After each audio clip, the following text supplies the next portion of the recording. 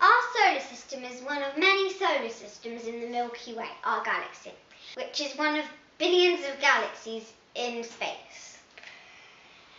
The order of the planets from the Sun outwards is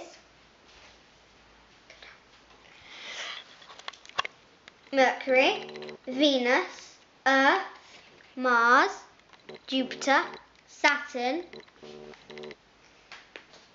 Uranus, Neptune, and I don't know if you can see, but there is a very small Pluto in the corner here. There. But Pluto is no longer considered a planet because it is too small.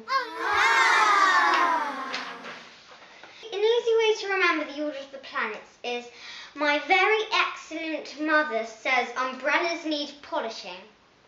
It's quite silly, but the first letter of each word is also the first letter of each planet. In a shuttle travelling at 28,000 miles per hour from Earth, it takes about 52 days to get to Mercury from Earth, 100 days to get to Venus from Earth, 210 days to get to Mars from Earth, 1.9 years to get to Jupiter from Earth, 3.3 years to get to Saturn from Earth, 7.3 years to get to Uranus from Earth, 11.4 years to get to Neptune from Earth, and 15.1 years to get to Pluto. These are the resources I have used to make my planets.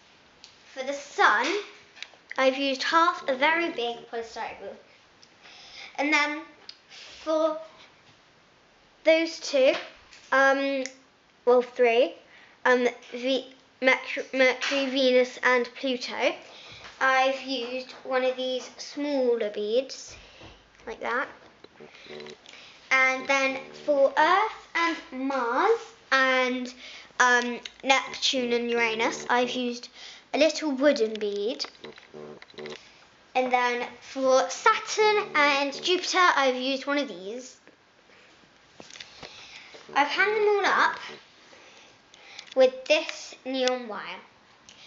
Look what it does when I turn off the lights and turn on the wire.